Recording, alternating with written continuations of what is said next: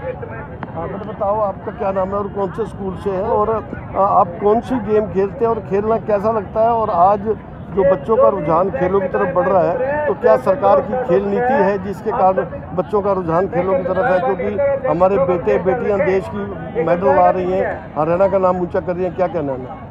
ਮੇਰਾ ਨਾਮ ਮਨਦੀਪ ਕੌਰ ਹੈ। ਮੈਂ Guru Nanak global council school ਤੋਂ ਆਈ ਹਾਂ ਇੱਥੇ ਔਰ ਇੱਥੇ ਆ ਕੇ ਸਾਨੂੰ ਬਹੁਤ ਵਧੀਆ ਲੱਗਾ।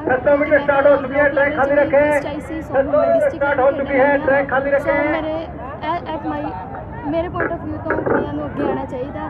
ਹਰ ਇੱਕ ਫੀਲਡ 'ਚ ਕੁੜੀਆਂ ਨੂੰ ਅੱਗੇ ਆਉਣਾ ਚਾਹੀਦਾ। ਭਾਵੇਂ ਜਿਹੜੀ ਮਰਜ਼ੀ ਫੀਲਡ ਹੈ ਐਵੇਂ ਗੇਮਸ ਹਰ ਇੱਕ ਫੀਲਡ 'ਚ ਕੁੜੀਆਂ ਨੂੰ ਅੱਗੇ ਆਉਣਾ ਚਾਹੀਦਾ। ਇੱਥੇ ਇੰਪਰੂਵ ਹੋਣ ਆਪ ਆਪਣਾ ਇੱਥੇ ਆਪਣੇ ਦੇਸ਼ ਦੀ ਰੇ ਪਰਪਸ ਬੋਲੋ ਰੇ ਹੈ।